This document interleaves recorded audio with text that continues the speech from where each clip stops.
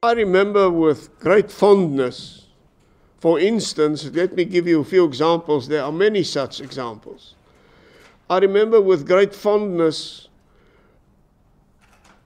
his toast at my 70th birthday when he spoke with great warmth and eloquence and once again emphasized the need for reconciliation, but with great personal warmth.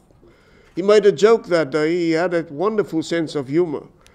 To say, although uh, when I turned 70, uh, he was already well into his 80s, although, although I'm much younger than he is, I worked much harder in my 70 years because he had 27 years of relaxation on Robben Island, and therefore we are actually more or less of the same age.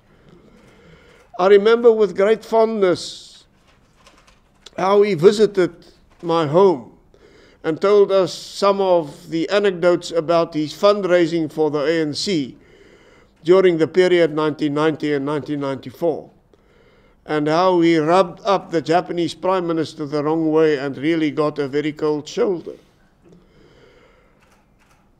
I remember with great warmth the moment he spontaneously, when after his inauguration, he and I and Thabo Mbeki went to the terrace of the Union buildings, grabbed my hand, grabbed Thabo Mbeki's hand, and it's a famous photo now, and held the hands in the air, sending the message that notwithstanding previous divisions together, we will build the new South Africa.